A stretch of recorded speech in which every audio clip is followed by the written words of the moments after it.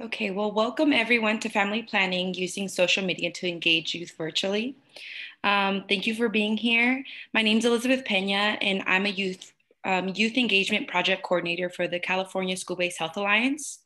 And before we get started, I just wanted to touch on some housekeeping.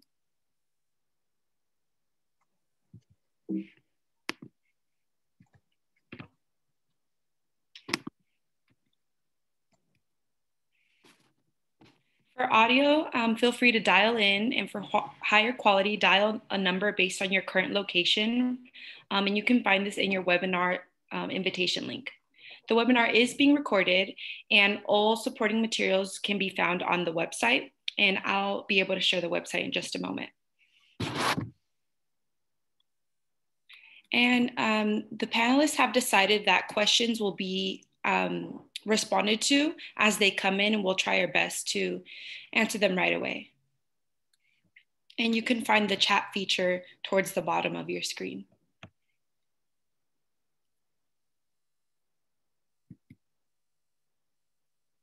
So for everyone that hasn't heard of the school-based, the California School-Based Health Alliance, we are a statewide nonprofit organization dedicated to improving the health and academic success of children and youth by advancing health services in schools. So we're really dedicated to two basic concepts. Healthcare should be accessible and where kids are located, and schools should have the services needed to ensure that poor health is not a barrier to learning. And we do this through capacity building, technical assistance, workshops, and webinars like the one we're having today. Um, on the screen, you'll find a link to our website where you'll find the recording, slides, and many additional resources. Now I'd like to move on to introducing our amazing presenters today from San Ysidro Health.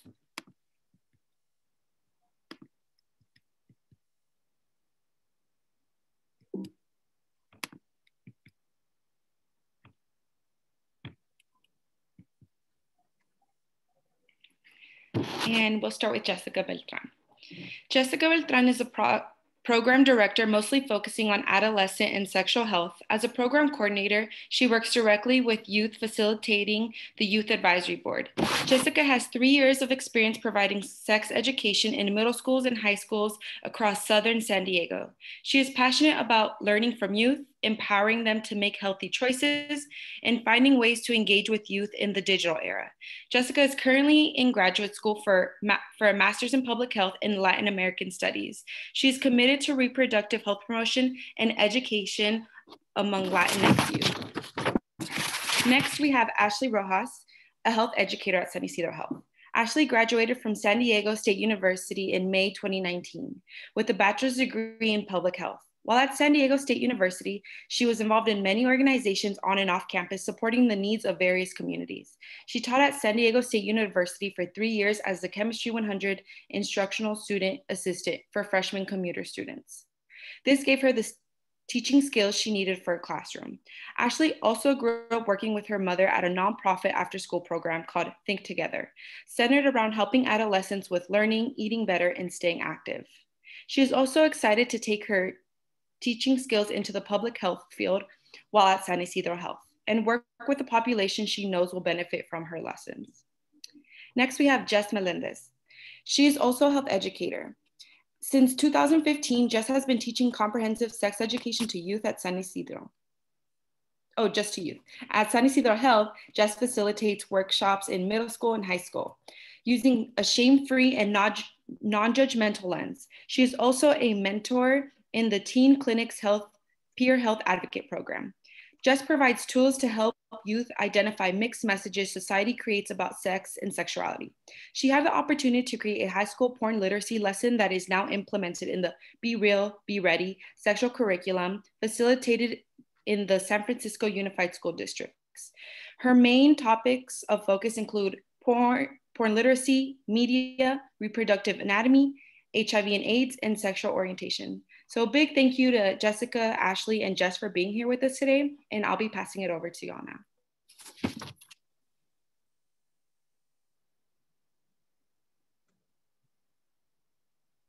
Fantastic. Thank you so much, Elizabeth. So Welcome everybody. Thank you so much for joining us today for our webinar. We will be discussing engaging youth in social media.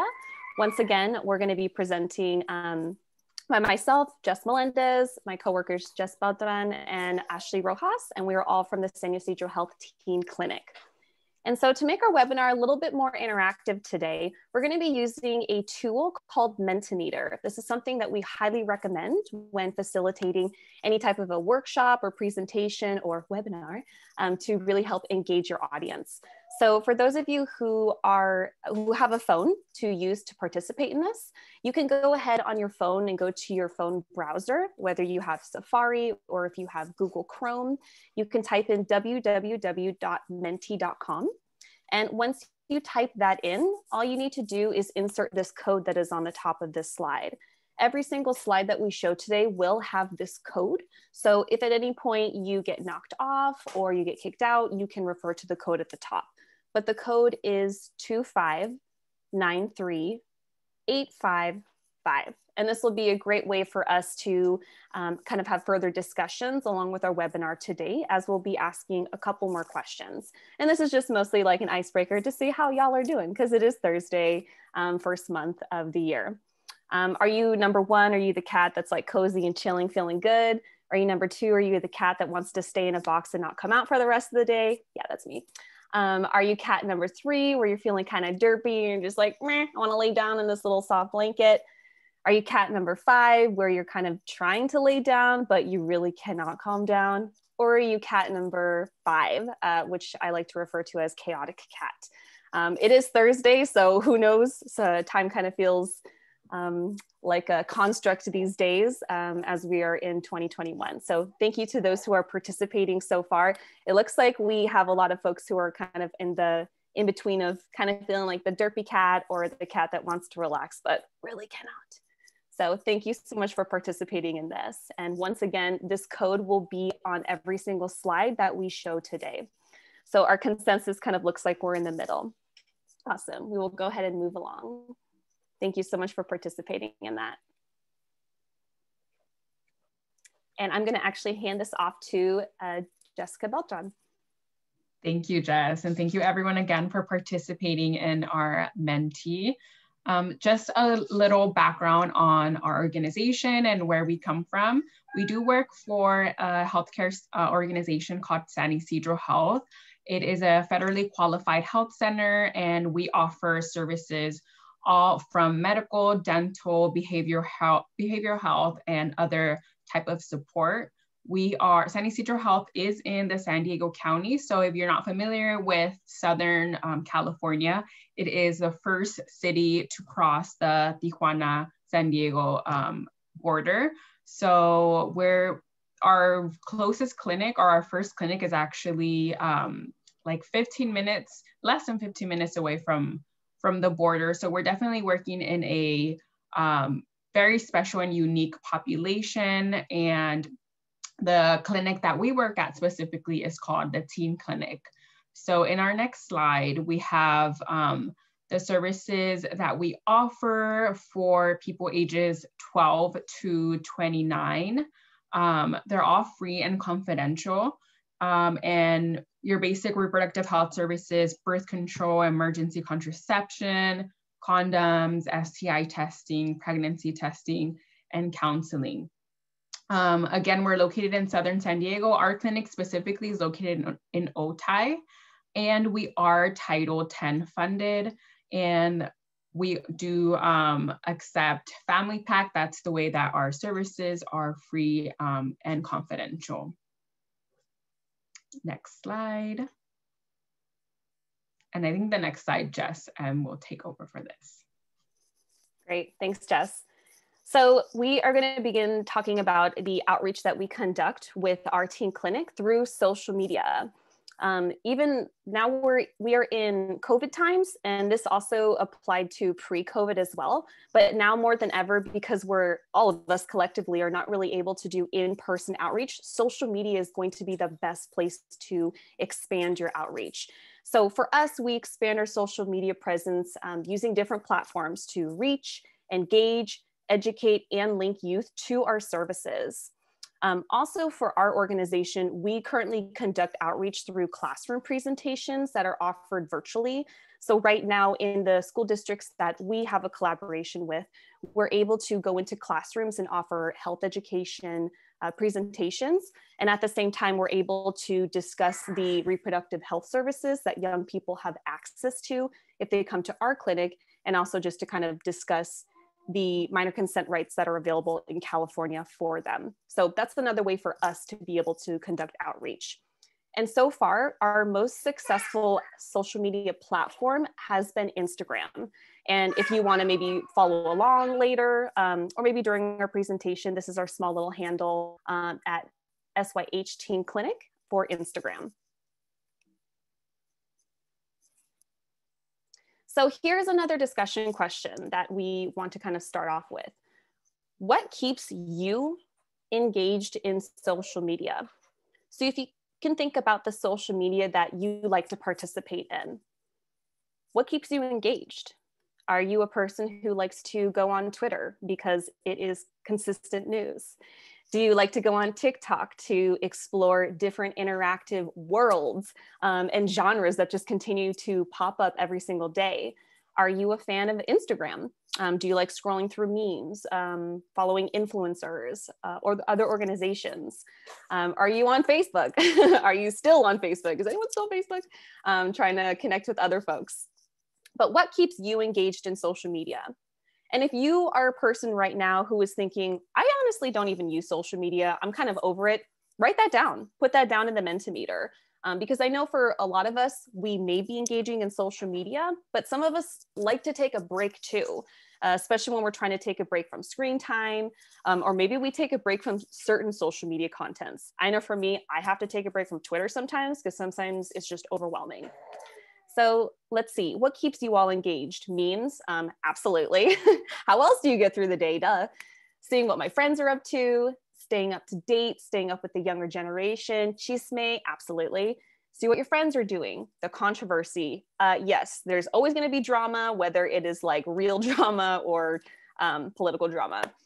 Um, masochism, interesting. That's a answer I wasn't expecting, but I really like that. Thank you for sharing friends, what is trending, pictures in general, creativity, funny content. Yes, we need to laugh. Food recipes, positive quotes, see all family pictures that I don't see all the time. Staying connected with friends, cats, yes, or any other animals. In order to stay engaged, I need to relate to topics. I don't have any social media accounts. The news, current news, events, fashion, um, keeping up with family and friends. I'm seeing a lot of things that have to do with things that are present, what's trending. You want to see what's going on in the world. You want to see what's going on with your friends, what's going on with your family. But we also want to take breaks to see things that are creative, things that are funny, um, and maybe things that are controversial too. Sometimes we like to test ourselves or challenge ourselves. Or maybe sometimes we walk into social media and we're like, all right, someone is trying to test me today. Here we go. So social media can be unexpected that way too. But these are all different reasons why we stay engaged with social media. All of these also apply to why young people are engaged with social media too, and what certain things keep young people engaged in social media. So thank you all so much for participating in this um, discussion question. We'll go ahead and move on. Okay, so how to engage youth with social media? Well, this kind of sounds like a known brainer, but having youth centered content. In order for young people to want to feel engaged in any type of social media content, they want to be able to relate to it. So, one thing is you young people being able to see people that look like them. So, for instance, if somebody's using a social media platform like, uh, excuse me, Instagram or TikTok, young people want to be able to see pictures of other young people. And I'm not talking about like stock photos of teenagers. Let me tell you right now, young people will fish that out so quickly and they may even disconnect with your page if they see stuff like that. So I know you might be thinking, well, where am I supposed to find young people? We'll talk about that if you don't already have programs that collaborate with young folks. Um, another important thing to recognize too is that staff isn't always in the target population when we're trying to engage youth. Now, depending on your organization or the clinic or what have you that you're working with, Um, we tend to work with a diverse um, uh, population within ourselves. However, it is not always possible for us to assume that because our department is so diverse and our organization is so diverse that we're meeting every single target population. So that's just something to be mindful of um, as you are creating content for social media. Excuse me. One thing that we like to suggest is using other youth and programs. This is something we'll talk about in a little bit, but definitely referring to young people who may be a part of school-based clubs, school-based ASBs, this also gives young people the opportunity to link their peers to this information that they're getting. Um, and that's linking peers to maybe the education they're receiving or a meme that they saw or um, the services that are linking to your specific school-based health organization. And this can look a bunch of different ways, whether that's somebody reposting something or even just word of mouth. Young people know what's trending. They know what works for them, and they're going to know what doesn't work for them. So it makes sense to have the voices of young people being reflected in the social media that you are creating. Um, there might be some type of a disconnect sometimes if somebody is like showing a meme that was five years old and is considered too old or what have you, um, compared to a meme that just popped up yesterday. Um, like for instance, we all saw the Bernie Sanders picture, right? That trended uh, last week. It's been a couple of days. As of right now, according to the internet and what's trending, that is over now. So if people are still creating Bernie memes, that is considered something that is no longer trending. Just a small example. And when it comes to the different social media platforms that we really like to suggest and focus on is Instagram as a whole and TikTok. So what you see in front of you are some examples of youth content that has been created on our social media account. So I am currently um, a co-facilitator for our peer health advocate internship, where we have at least 18 young people in our internship and we meet once a week. And every other week we have a shift that focuses solely on social media. And those shifts give young people the ability to create whatever content that they want to, to either put on our Instagram page or on our TikTok. Young people have the ability to create posts with pictures of themselves. Um, they can create informational posts. They can create videos. So what you see in front of you are just a couple examples of what we've done in the past. So you'll see some pictures that have, um, we call them our PHAs, our peer health advocates, um, actual posts and stories so on Instagram, and this is all featured on Instagram, we have a post where it talks about self-care from their own eyes. So um, our PHAs had the ability to talk about what they do for self-care, their own li lived experiences.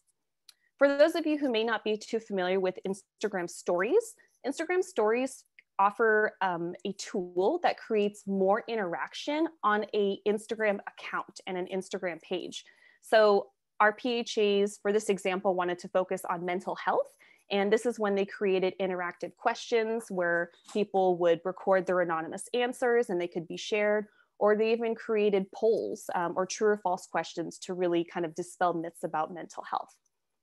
You'll see also in the middle are some pictures of real people um, that we kind of show as a throwback to in-person content, just to kind of remind folks of past events that we may have that we have done. Um, the first picture shows some of our PHAs doing outreach at their school. Uh, the picture on the bottom, our PHAs are very proud of this. Um, but in 2019, they created a holiday tree uh, that was made out of blown up condoms. And this tree sat in our waiting room in our clinic for um, a month or so. But they're very proud of that and wanted to show on their social media. And then lastly, um, we also have something called our PHA PSA. So this is when once a month, one of our peer health advocates are featured and they create any type of content that they want to on any type of topic that they want to um, based on what it is that they're passionate about. So these are some examples of what some of our folks have shown. And then this right here is just to kind of show what those stories really look like when we're talking about things being interactive. You'll see that there are those anonymous questions that we asked and folks gave us their answers so we could repost them on our stories for people to see. Um, this is a really good feature to have on Instagram stories because this really lets young people know that their voices are being heard. we are sometimes responding to what the answer is to their question, uh, depending on uh, what the question is being posed. But yes, we always reshare the answers that young people give us. Great, and I'm gonna hand this off to Ashley to talk about barriers. Yes, thank you, Jess. So another Mentimeter question, what barriers are you experiencing with youth engagement? So this can be anything and everything. Um, this could be COVID related, before COVID, just any barriers you have. Um, we will definitely go into our barriers and kind of talking about ways to kind of overcome those. So any and all barriers you may be facing now or you have faced before when it comes to working with youth. All right, they're already coming in. So, retention and getting them interested in following us. Yes, we will definitely talk about all of these things. Keeping attendance cons- consistent. Yes, we've dealt with that as well. Attention, not motivated, followers, school closed. Um, cameras are turned off during class presentations. Yes, we've even had that with our own meetings, youth meetings, um, having their camera turned off, lack of motivation, making contact, definitely if they're overwhelmed. Approval for youth generated content, yes, that could be a huge barrier. Having them as followers, that is a great point because even for our Instagram, as much as we want to promote everyone following it and getting our followers, it really is a page for the youth. So at the end of the day, we definitely collab with organizations and everything, but um, overall, we want to make sure that the youth actually want to follow our account. So keeping them interested in participating. If they're disconnected, not motivated, I'm seeing a lot of that. No safe space to access video. That's an amazing point and a huge one with classrooms, with meetings. Um, if they don't have, you know, that room to talk about whether it's sexual health, maybe it's just important topics to them. If they're sharing that household with who knows how many people or could have that anxiety about who's listening. Um, and then texting and confidentiality. Yes, these are all all great barriers to mention. And it's almost nice knowing that all of you are also dealing with these and seeing that you're not alone in that sense when it comes to the barriers you're facing and it's not just say your youth group the way you're teaching it really is something we're all dealing with right now at the moment trust cameras off mic off this is why I love Mentimeter. I feel like when it comes to us teaching, having meetings, um, this is a great way to get all of you to talk without even having to turn your mic or camera on and kind of say it anonymously. So that's why we really, really encourage Mentimeter for this sense um, that you can almost say anything. And if you try to put something inappropriate, it would also block it off. So it would look like a bunch of numbers, which is also good to know. So keeping up with growing number of social media apps, admin gatekeeping, access to social media, yes. Consistency, parent support, awesome. Thank you so much for all the participants for this one. Let's actually talk about some barriers we faced and how we can overcome them. So thank you again for all the Mentimeter answers. All right. So obviously coming from what we have having a teen clinic being able to promote our teen clinic and having youth groups to promote it as well. We understand that not all of you paying attention to this webinar even have a youth group or have access to having a youth group. You can kind of control and have meetings and be able to really collaborate with them. We do promote collaborating in general with any clubs at school if you're working with a school or other local organizations wherever you are in your city, in your area, this is a great way to connect with whether you're for us in San Diego, we'll try to collab as much as we can with other organizations around us just to know what resources there are out there for youth and knowing that if we promote that on our page together, we're really having the best platform in general to get youth to even follow us, know what's out there, and promoting that all all together we're all working for the same purpose we're not just one like we want to be the best organization um, it's really for the youth. So at the end of the day, whether it's understanding, you know, where youth are coming from and what they need, really, really reaching out to any pages you you follow, you like. Honestly, that's how we got involved with the California State Health Alliance. Is um, the LA Trust saw our Instagram page and DM'd us. So it was as simple as that. Uh, someone reaching out to us from Los Angeles all the way to San Diego. That small connection can go a long way. So if there's anyone that you're willing to reach out to, do it because you can get some great advice from other local organizations and even seeing what they have on their page as well. And then keeping engagement alive virtually. So obviously keeping engagement is so hard, especially like you all said, whether it's youth not comfortable with turning on their cameras, um, their microphones, if they're not attending in the first place well, it's really, really hard for us too, but we've tried our best to incorporate as many interactive ways to still keep them involved as possible.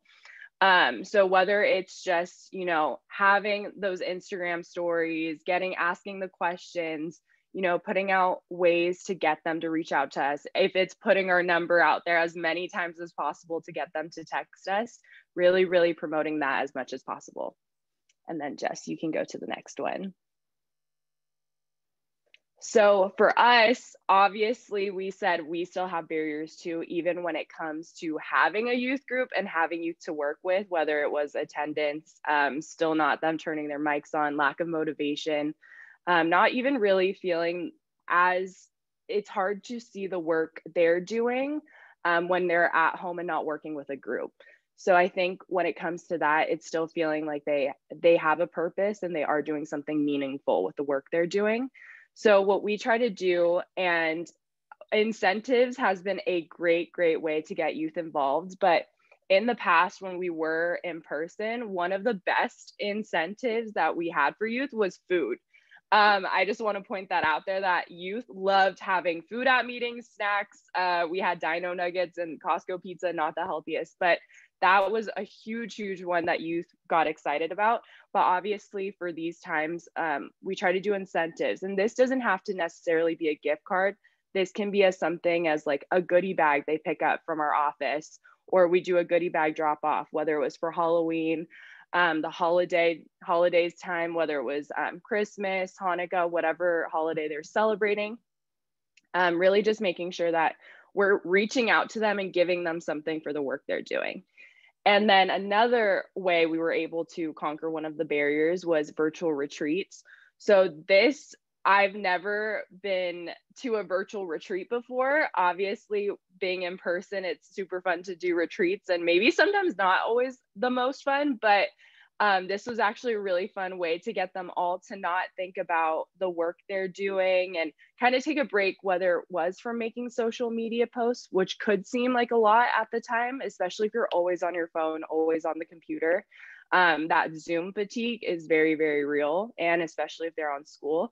So we made sure that when it came to the retreats, they weren't doing anything um too too crazy. They're just relaxing. So we did cookie decorating. Um, we had our mics on and our actually we didn't have our mic on. We had our cameras on and everyone was kind of just decorating. Their cookies we are able to get um, cookie decorating packages to them. So everyone had equal amount of cookies frosting and they all got to show it after and that is featured on our instagram as well we did a painting party so a san diego um, organization actually was able to give us all canvases and little paints and we did a virtual painting party together and she hosted it. It was awesome. And then another way to keep up with the youth and keeping them engaged is trying to figure out what platforms they're using and other ways um, to really get them active. So, one of those I would recommend is Discord. And if you're like, I have no idea what Discord is, I didn't either, but our youth really, really pushed for us to start using Discord. And this has been a really nice way of us all meeting um, on a different virtual platform and kind of getting rid of that Zoom fatigue and staring at the same um, platform and how it looks 24 7. So, Discord actually has a different layout. You're in a whole different, you can set up different rooms and it just looks a lot different. It almost looks like you're in like a fun video game instead of like a Zoom meeting. So, and at the end of the day, with youth and understanding um, all these barriers is recognizing where they're coming from. And I already saw that from a lot of your answers when it came to barriers. Just knowing that whether they're in a household where they can't virtually meet or you know if someone's listening to them 24 7 it's going to be really hard for them to engage. Um, maybe they're trying to balance a lot of different things.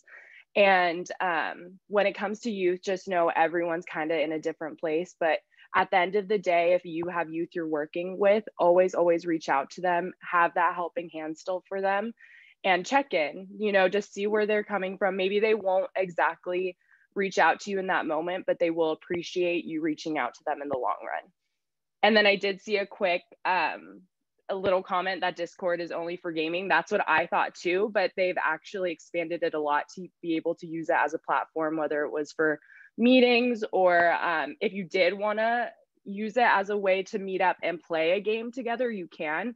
But it's a really user friendly um, uh, application or web browser to use even for meetings. And then Jess, you can definitely continue on. Thank you. Thank you. And I just wanted to also recognize um, and add on a little bit because I know people um, had said in the in the Menti discussion board about the cameras being turned off and that being one of their barriers. I think that's something that we've definitely struggled with um, with our within our youth groups and even like when we go into classrooms. But you know what? It's just we it's just something that we not necessarily put up with, but it's just something that we allow to happen um, because we we definitely are not we don't believe in like forcing them to turn their cameras on because again like some of you have already said we don't know what's going on at home. We don't know what type of um, space they're in. So we really just especially during these times just try to be as patient as possible. Try as much to really be mindful with with youth um, and slowly but surely, some of them do start turning on their cameras. Like it's not gonna happen like right away, but hope like as you start building that rapport with them, like they start turning on their cameras, they start um, maybe just using their voice, um, the microphone feature, um, but definitely, definitely just be being patient with them, I think is, is really important. All right, so now moving on to other tips. Um, so we are a social media team. So for our Instagram or for our general social media, we do have youth um, obviously engaged in it, but as a staff, we are a team. So right now you're seeing me, Ashley, and Jess. There's actually three more people that are in our social media team. So overall, it's six of us um, that come together every week to come up with content that we think um, is going to be is going to be you know good to post on our stories. Obviously we always want to engage youth um, as much as we can but youth can't you know they have other responsibilities um, and especially during these times it may get overwhelming for them. It did happen to us. Um, I know um, just recently where our youth that are involved in our social media um, weren't really turning in or weren't really giving us any content to post because it was in December. They had finals. They were worried about um, um, schools and about college and all and FAFSA and all of this different stuff. So, you know, that's why we're there as staff to kind of take um, kind of take control a little bit and and continue it on without having it be all on the youth. So we really do think that having a staff social media team is helpful and not only for youth to not be as overwhelmed, but also for one person to not be as overwhelmed. So if it was just, I know at one point it was me and Ashley because during COVID, there was just a lot of, you know, furloughs and it was just a lot of different thing, different things happening. And it does feel like a lot for one person to be having to come up with all the content to like you get creatively like you get you get fatigued creatively like it, it quickly becomes a hassle instead of something fun that should be um that that should be happening or you should be creating something fun. So definitely having a team of people that could be there um, maybe like three to five we would recommend because obviously the more people you have also the more ideas start rolling in um, and dividing those responsibilities so that again it doesn't seem like too much on one person. Um, we do have a kind of a lead a social media lead so that um, they can kind of be the person that are leading the meetings that we have as a social media team um, and that our lead right now currently is Jess Melendez. So she's kind of the person in charge of leading the meetings, of bringing up any maybe updates from our supervisors or just anything um, that's more on the administrative side, even though there's not a lot, but just like the few things that are on the administrative side, Jess M would be the one to kind of take the lead on that. But other than that, the work is really much, pretty much divided um, equally amongst everyone. So it's not too much on one person. And then uh, other in addition to um, having a social media team as far as the platform itself and the content we really recommend posting consistently on one or two platforms so pick the one or two platforms that you want to focus on for us is, is instagram because for our target population that is the app that they're using the most. It wouldn't really make sense for us to be using Facebook because our youth aren't on Facebook. Um, and then we also are trying a little bit to to get on TikTok more, start doing more TikToks because obviously we know that that is where all the youth are at right now on TikTok. Um, so pick one or two platforms that you want to focus on. Definitely don't pick more than two because once you have more than two, like it just becomes like too many too many things to to try to um, to try to do at once. Although you we do um, cross post on facebook. So whatever we post on instagram it just automatically gets posted to our facebook. But it's not like we're focusing any specific content to facebook. Um, and then have structure to the post. So it's not like just oh i'm just today i'm just going to post this and then on um, on monday i'll post something else. So definitely having a structure and we're going to talk a little bit about the structure in the next slide um, is, is helpful not only for you to stay organized as a team but also it might be helpful for your followers to know like oh every tuesday they're going to post every wednesday. So it doesn't just seem like it's your instagram is kind of all over the place um, and then having too many social media platforms, right, can be overwhelming. So on the next slide, um, we're gonna talk about the structure that we have as a team. Obviously, each organization um, can have a different structure. This is just what we do and what works for us. Um, so we try to post three times a week, and we just recently added one, um, one more on Fridays. So we usually post Tuesdays, Wednesdays, and Thursdays. On Tuesday, um, and each person has a post that they're assigned to. So on th Tuesdays, I'm assigned to the question our question Tuesday post. So this post is really designed to be our educational post. So on question Tuesdays, we um, either from the questions that we receive from youth or from um, questions that we might think are some myths that we've heard around in the classrooms. We um, pose a question, we act like it's, it's posing a question towards the health educators, and then we answer it as health educators. And it can be sexual health related, but as we know, youth are experiencing other um, other issues as well, or not issues, but it's it's more of a mind, like a holistic approach to it. So any issue that has to do with youth, it can be mental health, it could be nutrition, it could be even the political climate that we're living in, anything that the youth are currently going through, we try to incorporate into the question Tuesdays.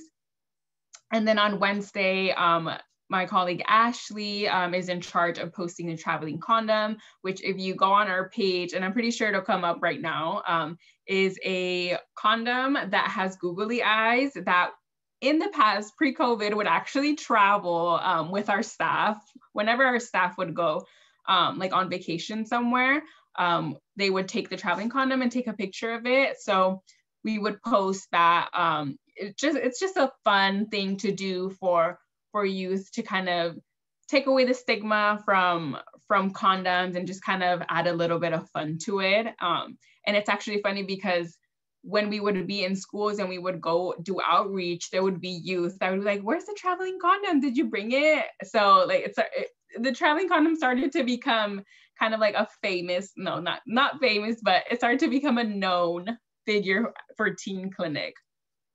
And then as you can see, it's on here. Um, it's the the kind of the ones in the middle. We did a um, we did a in October. If you see the one with the pumpkin, we did like a fall condom challenge. Um, and where we tried to fit condoms inside of a pumpkin or a pumpkin inside of a condom. So that was definitely fun. And then on Thursdays, we have our PHA content. So I know we talked about our youth program. So our youth program is actually called the Peer Health Advocates and they're called the PHAs. So um, on Thursdays is their designated days to post. So every Thursday um, we have, well, not every Thursday, most Thursday when there's um, when there's content, we have um, the PHAs just post what what they come up with as a group. Um, and here's some examples that they did during Halloween. It was kind of like a Mythbuster, Ghostbusters type of type of um, thing. And yeah, sometimes unfortunately youth don't always um, come up with content and that's that's okay. We, we definitely know that they're not always gonna be producing content for us, but in the times that they don't produce content, we try to uh, maybe just add in a little art, repost some art from cool organizations or cool artists um, that are uh, that are, are on Instagram to just kind of keep the the feed alive and kind of just make a post that makes people feel good. And then on Fridays, like I said before, we recently added a um, like a TikTok Friday or, or yeah, reel, because I'll talk about like the difference between TikToks and reels on the next slides if you don't know. Um, but on Fridays, we have our, um, one of our coworkers, Noemi, and then our other coworker, Alex, they work on putting together TikToks that are more like self-care TikToks, um, and they're really cool. Uh, honestly, I would recommend everyone to check them out if you have a TikTok. Noemi does a really good job at making TikToks where um, they kind of ground you and they kind of give you a space to breathe if you need to breathe, to do some yoga poses. Like she has different ones each week. So I definitely recommend, um, definitely recommend y'all check that out if you want. But that's basically our structure. Obviously, it's gonna look different for each organization and what your capacity is, how many staff members you have. Obviously, if you have um, less staff members involved, it's probably going to be less posts, but as long as you're keeping it consistent every week at the, um, the same days, I think is what will work. And then next slide. So these are some of, of the other Instagram engagement features that we have tried and that we've done and that we also currently do. So like Jess was saying before, the Instagram stories that we do, there's there's so many different engagement pic features on Instagram. Um, and on stories, there's um, polls. So if you go on, if you make an Instagram story and if you um, create one, you can actually create a poll where you ask people like anything you really want and then um, for the for the people that um sorry i just my dog is like crying so i'm trying to like trying to like blur blur him out. Um for yeah so there's polls and then there's anonymous questions. People can definitely engage and put in their answers and then you can engage um, by replying to it on the story in an anonymous way and then um, there's IG Reels, which is basically the TikTok version of um, Instagram Instagram version of TikTok.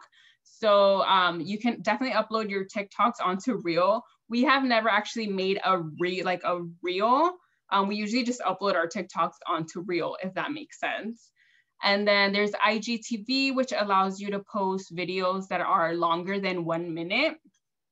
And then um, definitely keeping the direct messages open for questions. We definitely do get um, a good amount of questions from our followers about our services or just questions in general about their sexual health.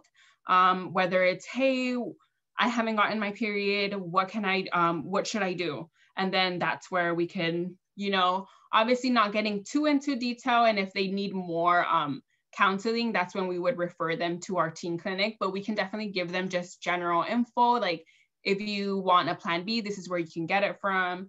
Um, if you're interested in getting condoms, this is where you can get it from. Um, so yeah, definitely keeping those DMs open um, will definitely, I think, be helpful for people and definitely promoting that on your Instagram, letting people know like, hey, if you DM us for any questions, DM us for any questions so that people know that they, they can reach out to you for anything. I see we have a question about the quarantine bingo, and I know Jess M was the one that put that together, right? So if you wanted to talk a little bit more about that. Sure. Um, so yeah, I created that. With the date on there says April 2020. Um, this was just something to, you know, once again have youth interact with. A lot of people screenshot this and kind of circle things on their own. Um, while this isn't sexual health related, once again, we focus on what's going on around us in our environment and what's going on in the world. So this was just a fun way of kind of um, getting folks to engage. Um, was there a certain question on this one or just wanted more information? I can't see the chat right now yeah it just it just said what's quarantine bingo? That looks cute. Um yeah basically just wanting to know a little bit more about the quarantine bingo. Yeah. Um i was going to say i think um this is if you are interested in checking out this bingo specifically because this is just something that i made this is located on our instagram not on our actual posts but in a space that's called highlights. And you'll see that we have a bunch of different highlights called like mental health, sexual health, and there's one that's COVID 19. I believe this is saved on a highlight. So if you want to screenshot this on your own and create your own quarantine bingo, please feel free to. All and right. then I think that can lead us into the next slide. Perfect. All right, so because of time and we want to respect everyone that is here and getting all this information, we won't talk too much about our Instagram insights, um, but just know that on Instagram, Instagram actually offers a section where you can locate insights. Um, I apologize, I have my eight month old in the background. So when we're talking about different accounts on Instagram, you actually have the option of either having a business account, um, a regular account, or even a creator influencer account when you have access to a, a, business account, you're able to see these insights. So you're able to see how many people view your account every single day. Um, you can see how many people view your profiles. Um, we also have a function on our Instagram where we have a website. You'll see kind of like in the bio, there's that link tree. This is really helpful because then you can see how many people click that to get more information, whether you have a website for your actual organization or maybe you have an additional website like a link tree that has a bunch of other links to it. Um, but this is a good way to kind of um, look at that information. Um, and then once again, this gives you the opportunity to see top posts, um, your top posts and stories of the week or even for the month because you have the option of either seeing the last seven days or the last 30 days. So this is definitely something we highly recommend taking a look at. Um, and then this is also another portion of our Instagram insights that gives you a follower breakdown. This is really helpful for folks when looking at insights because you can see the age range of the individuals following you, um, your audience as far as gender.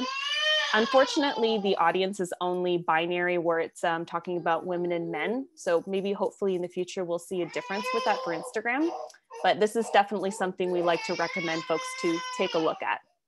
And then on the bottom left corner, you'll see that there's like half of a post that's circled with the view insights. With the business account, every single post that you create, you can actually see your own individual insights of that post. How many people liked it? How many people shared it? And how many people saved it? So something we definitely recommend.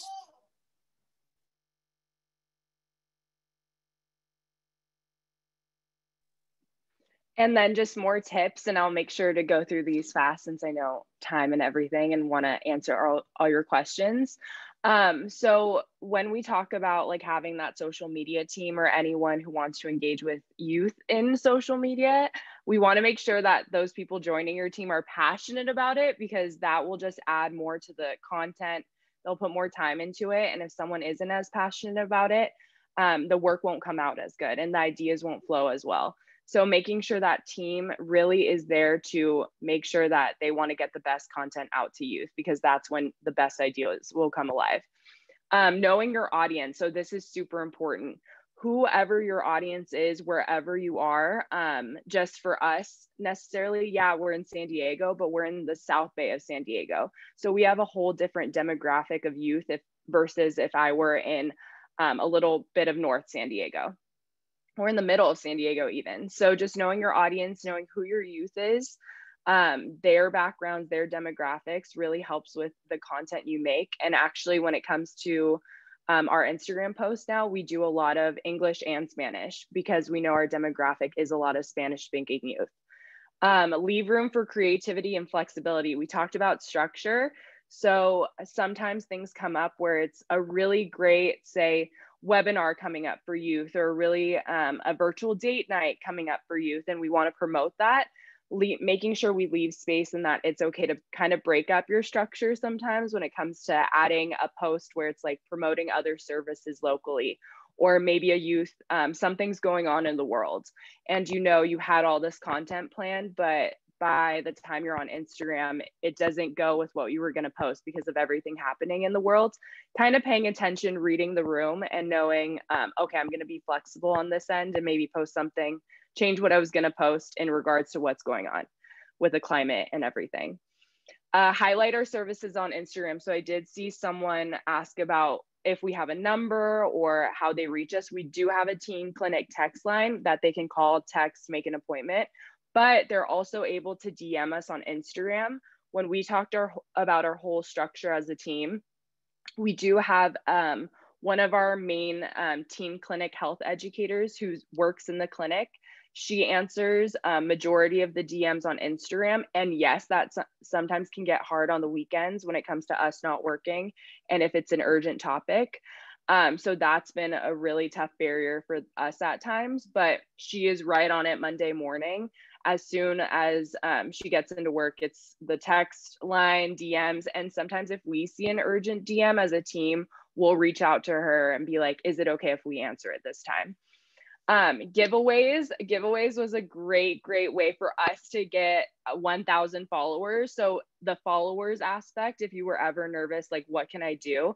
We um, actually did a giveaway. So we were just promoting um, a little goodie bag and doing all of those things to get a thousand followers. And we even reached out to all our other local organizations on Instagram and DM them if they could share.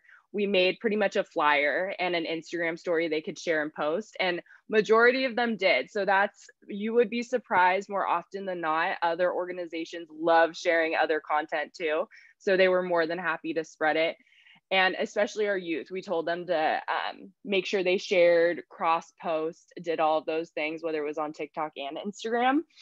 Um, and then we did make sure to tell you earlier to change it to a creator account instead of like a business account just because this allows you to post like music on stories make it a lot more interactive. So that's just a good hint to know I already talked about collaborating with other organizations. That is one of my favorite things to do, especially with even Instagram lives. We've had um, even other organizations come in and give trainings for us.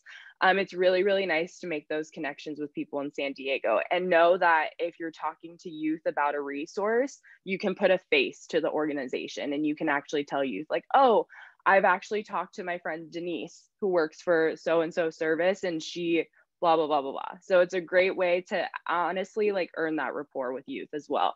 And then a variety of apps um, our whole presentation was made on canva. We love canva. Um, it could be a little overwhelming at first if you're new to canva but just know it's a great great great way to make creative content for instagram stories instagram posts adding your pictures that you took on your own and adding words to it, it's amazing once you get used to it on your web browser or even on your phone. So both are really awesome. And we are getting a little more on TikTok, but hopefully the youth taking over the TikTok content versus us trying to be adults reaching youth, which could seem a little um, not as much rapport for youth, and they don't really want to see adults all the time talking about youth wearing condoms. So, just a little tips to know. All right, so since you all are gonna receive our slides, I'm not gonna really go into this um, slide, but I do wanna answer some of the questions that are in the chat because I think they're really good questions. So one of the ones that I saw in here was, does the Health Clinic Administration resist the teen clinic being on social media? I see that resistance with many agencies in our area. And this is a really good point. For us, our organization, we haven't had any resistance, but I must admit we are kind of like the not the stepchild of our organization, but we are very progressive compared to um, you know the rest of our organization. Um, but we always the thing with us is that our supervisors always always try to advocate for our youth groups, and they always try to um, explain to the administrative people who may not really know what our youth are actually doing because if our our administratives just see um, a youth putting on a like a condom on a pumpkin, they're gonna be like, what are they doing? But because our supervisors are really good at talking to administrators about, hey, this is we have a PHA program, we have a youth advisory board. They're really cool, like they're really good youth. I think they understand that we have those youth programs, so they they're a little bit more open about the the types of things that we um, post on our social media. Um, and then we answered the, and if any of Jess or Ashley, you wanna answer any of the questions that you see on here, please go ahead. We did provide our Instagram handle. Let's see. What other ways besides the youth's input did you research on, on what is current? Honestly, we most of it is youth's input and then what we just do on our own time. So um, I know that we're not like getting technically paid, but if we are scrolling down TikTok or if we're scrolling down Instagram on our time off, and if we see something that is um, relevant to what we're doing, or we see something that's going on or another platform, we definitely um, maybe bring it up in a meeting. Or if it's a post that we think is relevant, then we we um, DM it to our um, to our teen clinic social media. So we see we definitely do that a lot where we'll DM from our personal account to um, the teen clinic. Um, I just wanted to touch on um, something someone had mentioned in the chat really quickly about shadow banning and constraints on um, terms and conditions. This is also something that's really important to be mindful of when you are talking about reproductive health services um, on Instagram or even TikTok. Um, as of right now, with terms of services, sometimes when folks are talking about things related to sex or sexuality or sex work, um, an account can become what we call shadow banned. And what that essentially means is if you are creating a post, let's say that has to do with any of the above, um, excuse me, any of the mentioned topics, your account may not show up on everybody's feed every single time. So if there's a point where last week you made this one post and wow, you had so many likes, and then you made another post the week after and you realized, how come there's not, you know, why is the interaction different? Um, it may be because that particular post or your account was shadow banned. Now, there isn't an exact way to tell or look up, like, am I shadow banned? It's just something that um, some accounts might recognize on their own. Um, this is also really important too. If you are an organization that is promoting a post, this is when you actually pay extra money to have a post show up on people's feeds. Um, depending on the language that you are using, if it is related to sexual health, sometimes you, excuse my daughter in the background, sometimes you may have a post that is not approved because of the nature of the content you're posting. So definitely be mindful of that. This has nothing to do with how amazing your organization is. It's just the terms and services that exist on Instagram and TikTok.